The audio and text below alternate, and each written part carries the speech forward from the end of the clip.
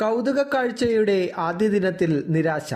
ആലപ്പുഴയുടെ ആകാശ ദൃശ്യങ്ങൾ ആസ്വദിക്കാൻ തയ്യാറാക്കിയ ഹോട്ട് എയർ ബലൂണിന് ഉയർന്നു പൊങ്ങാൻ കഴിയാതിരുന്നത് ആദ്യ ദിനം നിരാശയിൽ കലാശിച്ചു.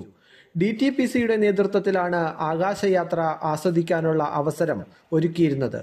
ഒരേ സമയം നാലു പേർക്കാണ് ബലൂണിൽ യാത്ര ചെയ്യാൻ കഴിയുന്നത്. ഇന്ന് രാവിലെ ഉദ്ഘാടന പരിപാടികൾ ക്രമീകരിച്ചിരുന്നു എങ്കിലും പ്രതികൂല കാലാവസ്ഥയിൽ ബലൂണിന് ഉയർന്നു പൊങ്ങാൻ കഴിഞ്ഞില്ല.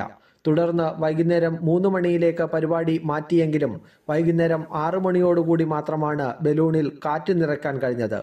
ശക്തമായ കാറ്റ് നിലനിന്നതിനാൽ ബലൂണിന് ഉയർന്നു പൊങ്ങാൻ കഴിഞ്ഞില്ല.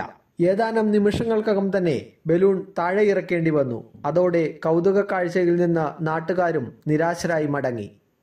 വരും ദിവസങ്ങളിലും ബലൂൺ ഉയർത്താനുള്ള ശ്രമങ്ങൾ അധികൃതർ തുടരും.